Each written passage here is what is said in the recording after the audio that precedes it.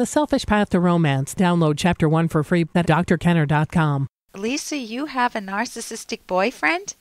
I do believe so, yes. Yeah, tell me what's going on. well, the first the first year was great. Uh, he was really attentive and that sort of thing. And then I discovered he was texting another friend of his uh, that he's known for about 20 years.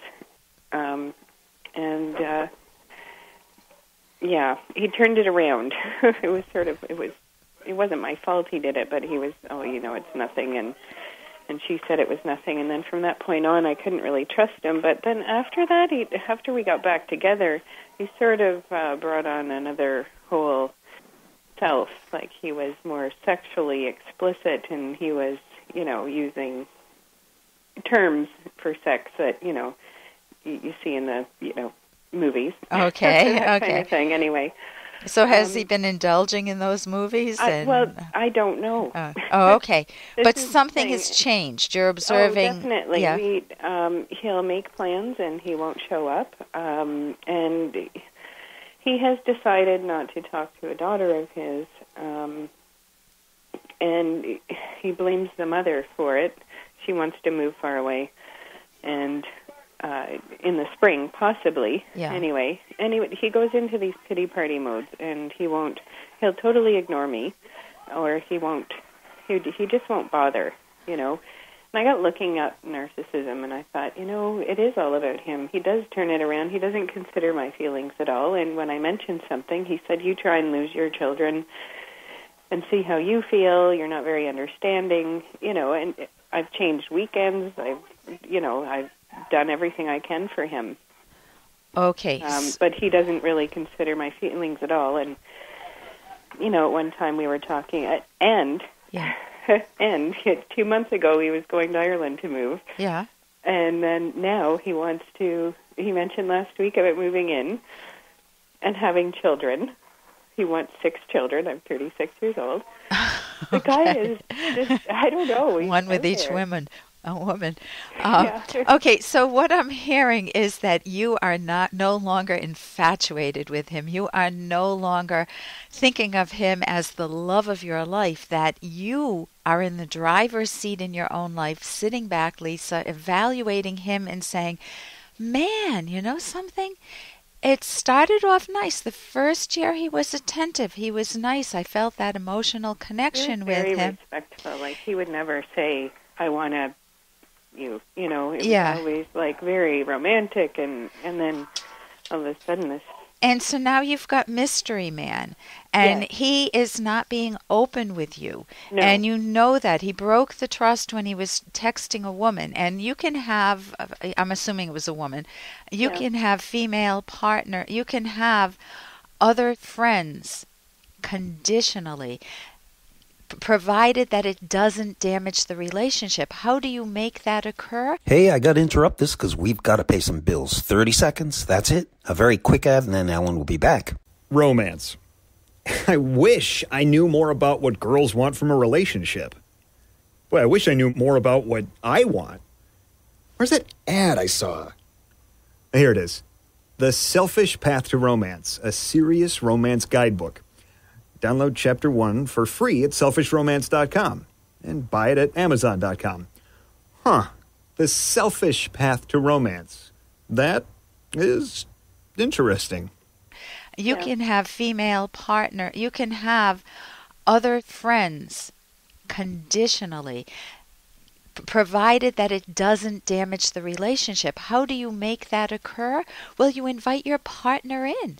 You say, "Would you like? I would love to go out with." Uh, Betsy, and I think you'd enjoy her company too. Assuming he's not forcing you, but you guys share an interest in X, Y, Z. You know, you both love Yeah. to, and you he helps. I'm I'm pretty old fashioned.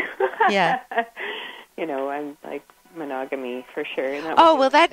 Oh no, I, I didn't mean sexually. I meant Yeah. Oh. um, that it. You always run into. My husband and I have been married for how many years? I think it's forty nine. I, I lose track, and we have a wonderful, wonderful marriage, and we do not have outside best friends like singular best friends, Mm-hmm. and that has worked dr- magnificently for us. We have friends that we get together with, but we don't say, oh, I'm going to, you know, I don't say I'm getting together with my good friend Joe, whatnot, and spending the day with him and sharing my intimate life with him. I don't mean sexual, but just emotionally intimate. We don't bring it outside of our uh, immediate bond. Now, many people do, but when you do, there are rules to do that to go by, which is that you include your partner. You make sure it's okay with your partner. You deal with any partner's fears. So it isn't that he couldn't keep a friend from long ago, that he has to isolate himself. Mm-hmm. It's that you don't do it in a way that's damaging to your primary soulmate, to your, mm-hmm. your primary bond. And he, he has a huge fear of commitment, and I have to wonder if that's what the problem is. As soon as he gets close, he backs right off and and he goes on dating sites and well know, isn't it better that you find out now than ha- after settling down and having six kids oh, yes. at the age of 36 so let me get, let me first uh, just i wrote a book with dr ed locke that i think is a must get in this situation but let me just read you our part on narcissism. We if you have some if you're with somebody who just feels like they're always superior to you. They they've got this sense of grandiosity. They need constant attention. It's all about them. They can, you know, they show off a bit. They've got fantasies of unlimited success. They envy other people. They mm-hmm. have uh, they exploit others. They don't have empathy where they should have empathy, mm, no and they have feelings of entitlement. This should come my yeah. way. And yeah. so it isn't a relationship of equals. It's not a mu- there's not a mutual no. you rub my back, I rub yours. We both yeah. feel great in this marriage. Yeah, no, this is definitely uh, a and my friends will say, Lisa, you haven't you haven't been with him very long. Why yeah. are you Yeah. Why are you so hung up on him? I guess because, you know, we did the family thing and I don't know. What do you mean you did it. the family thing? Well, he came. He visited me every weekend, and he brought his daughter, and we were like a family unit.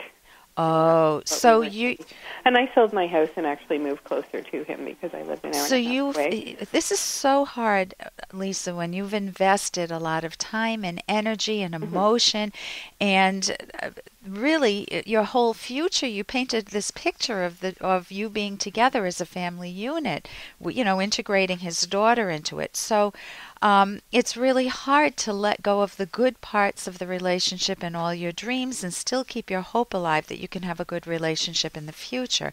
So I know we're winding down on time. So let me just tell you at the very the book my the book that we wrote is going to sound narcissistic, but believe me, it's anything but. You don't want to be a doormat in a relationship, and you don't want to be a me only person. It, you yeah. want to be self valuing. You want to have self esteem, self nurturing. You oh, want to. For sure. So the book, the title is "The Selfish Path to Romance." That's why I'm smiling. Okay. How to love with passion and reason, and we talk at the end of the book on in our appendix how to part ways if you cease being soulmates and start over again again.